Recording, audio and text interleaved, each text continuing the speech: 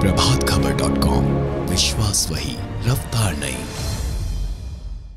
इसमें भारी विसंगति है इसको लेकर के पूरे छात्र जो है वो आंदोलन में है।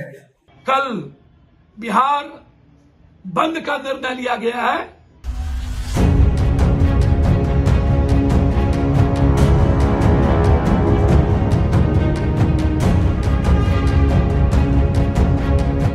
नमस्कार, मेरा नाम है राजेश और आप देख रहे हैं Prabhat Khabar. RRB NTPC result को लेकर छात्रों का आक्रोश रुकने का नाम नहीं ले रहा।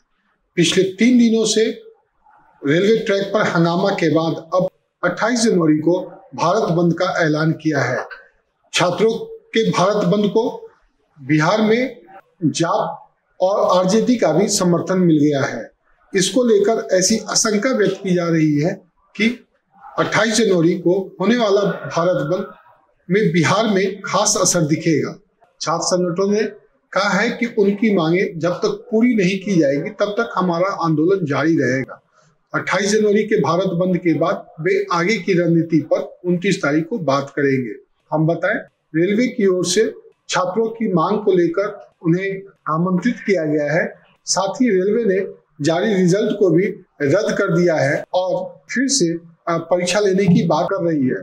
लेकिन छात्र इस पर मानने को तैयार नहीं है। आइए हम आपको सुनाते हैं कि राजद और जाप में जो छात्रों का भारत बंद है, उसको समर्थन के बाद क्या सब कुछ कहा है, देखिए इस पूरे वीडियो में इसमें भारी विसंगति है। इसको लेकर के पूरे छात्र जो है, वो आंदोलन में है। उसने दो करोड़ रोज़गार हर साल देने का वादा किया था। उसने कोई वादा नहीं पूरा किया।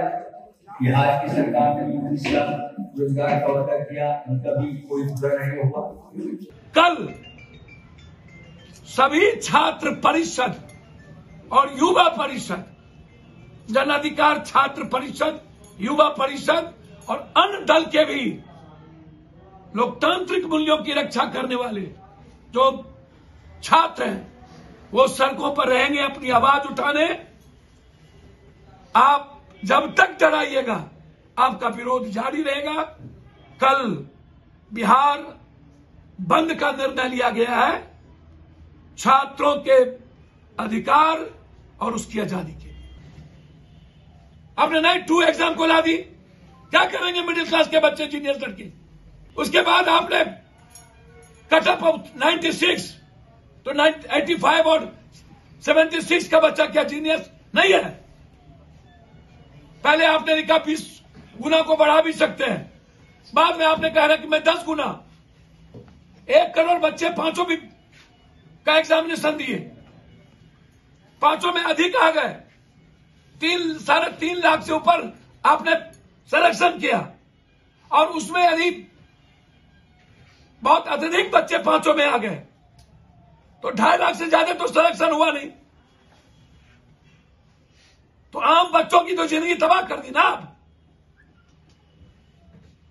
और उसके बाद पाँच बजे तक मेरे बच्चे प्लेटफॉर्म पर एक चौंक तक नहीं बोला।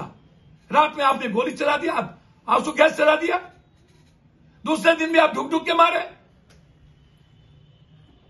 हमारे बच्चे कौन सा हिंसा कर रहे थे? हमारे बच्चे हिंसा के पक्ष में नहीं है। हिंसा तो ये बलात्कारी, भ्रष्टाचारी करता है।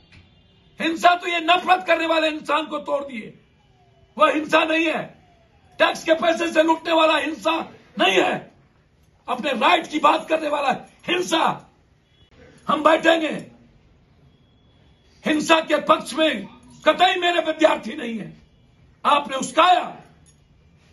हम सरकारी संपत्ति को नष्ट नहीं करना चाहते, लेकिन अपने राइट के लिए लड़ना और मरना चाहते हम लड़ेंगे भी मरेंगे भी डराए ना यह सरकार। गोली के ताबूत पर पप्पू यादव और युवा कभी नहीं डरा है जितनी गोली है चला लो।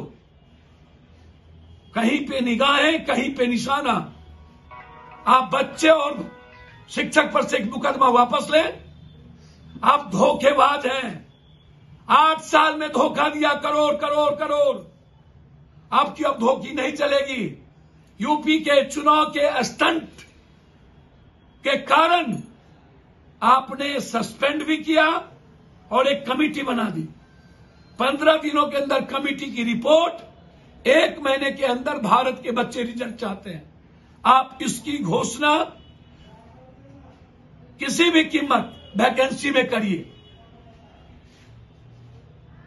और केस वापस लीजिए।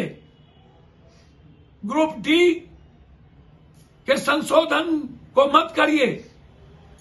कंप्लीट राय लेकर के ग्रुप डी के एग्जामिनेशन को बढ़ाइए। प्रभात खबर डॉट कॉम, विश्वास वही, रफ्तार नहीं